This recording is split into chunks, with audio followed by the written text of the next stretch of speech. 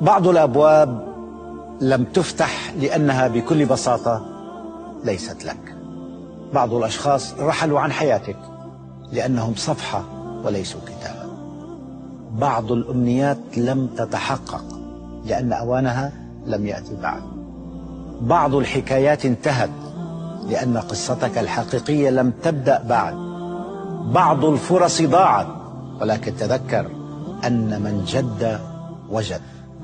بعض الآلام طالت ربما لأن أوان سعادتك يمر عبر مر الصبر.